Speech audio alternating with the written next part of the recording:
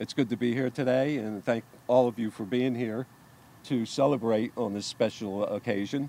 I'd like to introduce uh, our board members uh, Bucky Grimm, Gene Wimmerly, Al Gunderson, and Bob Thompson back here.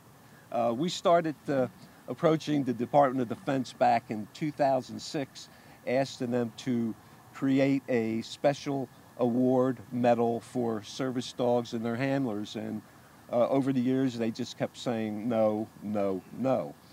And a little over two years ago, Mike Ortega uh, contacted me to see how we were doing with this project, and I told him we're at second base, and we keep getting strikeouts. So uh, Mike said, "Well, let us see what we can do."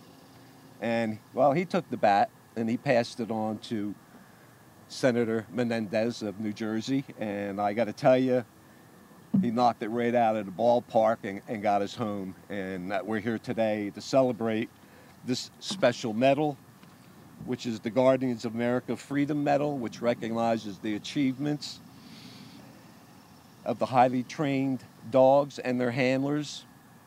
And uh, I'm just, uh, sir, I've got to salute you. Thank you, sir, for bringing us to this point. Thank you. Thank you.